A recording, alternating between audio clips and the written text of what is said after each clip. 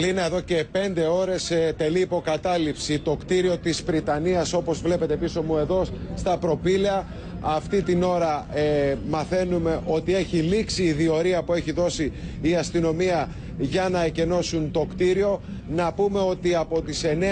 9.30 το πρωί με μια ευνηδιαστική κίνηση η ομάδα των αντιεξουσιαστών που έχει προχωρήσει σε κατάληψη εισέβαλε στο κτίριο, έβγαλε έξω τους διοικητικούς υπαλλήλους και στη συνέχεια όπως και εσείς βλέπετε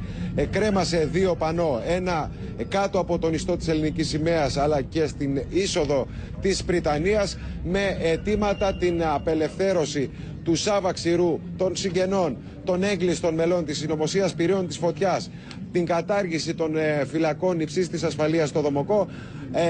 αλλά επίσης και ως ένδειξη ε, συμπαράστασης στον αγώνα, όπως λένε, των απεργών πείνας. Όπως και εσείς βλέπετε, στο σημείο υπάρχουν ισχυρές αστυνομικές δυνάμεις, έχουν περικυκλώσει το κτίριο, από στιγμή σε στιγμή λύγει το τελεσίγραφο που έχει δοθεί καθώς εδώ και πολλή ώρα βρίσκονται σε διαπραγματεύσεις οι Βρυτανικές αρχές με τους ε, αντιεξουσιαστές για να εκενώσουν το κτίριο χωρίς επέμβαση.